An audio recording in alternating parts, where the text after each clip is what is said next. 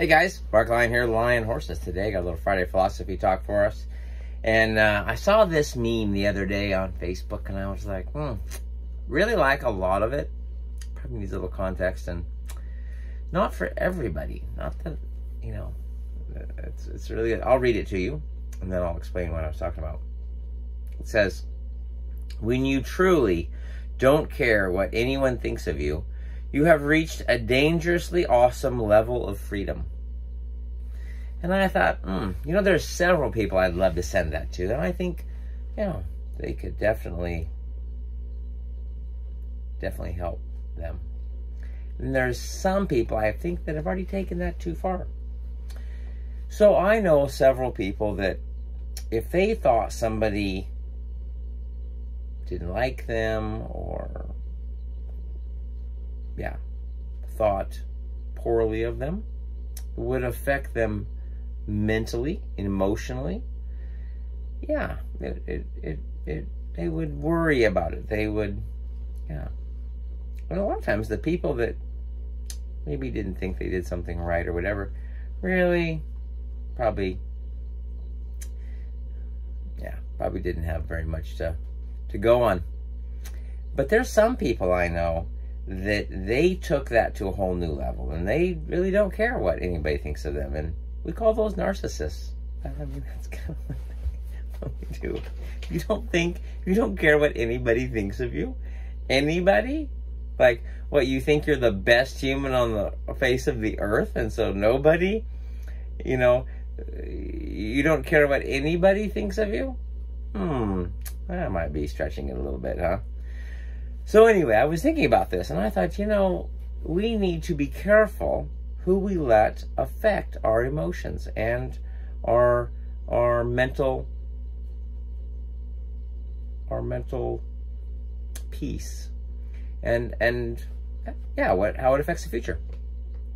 So there are several people that I know that if they thought I was doing a poor job training a horse I frankly wouldn't care. I've seen their horses, and frankly, they're not very good. So, you know, it's like, you know, yeah, yeah I, I see you. I I hear you. You you don't think I'm doing it the right way, and um, yes, none of yours can beat any of mine doing anything. So, you know, yours are running off half the time, and half of them buck you off. And so, yeah, if you don't think I'm doing a good job, frankly, I don't really care. Then there's other people that I look up to, some of my mentors. Um, yeah, and so those people, I do care what they think about me and, and how I'm doing because I'm trying to get better. And unless I'm at the top of the heap, those above me, I should care um, at least a little bit about what they think, how I'm doing. Am I, am I living up to my potential? Am I getting better? Or, am I doing a good job? So, yeah, those are those are things we need to listen to and think about. So, I really like that quote. What I would really, what I'd like to say is we need to divide the group that we don't care about and the group we do care about into two different groups. So when somebody says something to you and it's and it's negative. Like they think you should be better, or they feel, don't think you're doing a good job, or whatever. We need to analyze first does that person, do I care what that person thinks? Or should I care what that person thinks?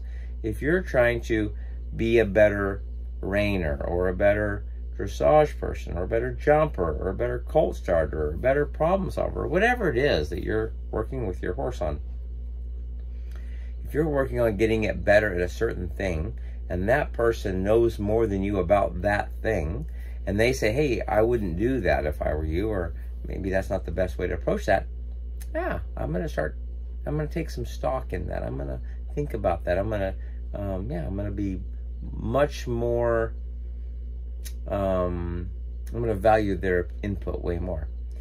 If that person, I really don't I'm not impressed with the way their horse operates or how their horse behaves or whatever. It's like, yeah, uh, appreciate your appreciate your input, but um, I'm gonna do it my way.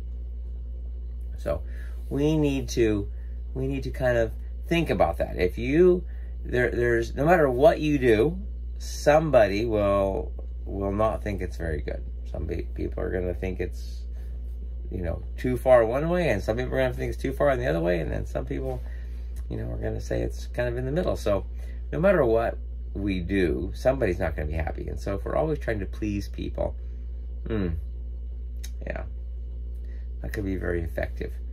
Also, if we don't try to please anybody, um, you know, we, we are living in a in a social construct, and so because of that, we have to get along with people. So if you don't really care about anybody, you're probably not going to get along with very many people. Mm, that's going to be difficult because if you don't get along with very many people, yeah, there's, you know, you, you get hard to get when you're hard to get along with. Nobody likes you anymore. So I want to be a little bit of both. I, you know, if if somebody that's a, a jerk doesn't like me, hmm, yeah, I, I don't sweat it very much. But if somebody that I value their opinion, um, I think they've got a lot of insight and wisdom. They say, hey, I, I don't think you should have done that, or I think you should do that better, or whatever. I take some stock in that. So, anyway, as we're all trying to be better people and, and better owners for our horses, yeah, take that into consideration. Remember, there's a little bit of a balance there. So, anyway, remember, we're all trying to be the person our horse deserves. Catch you next time.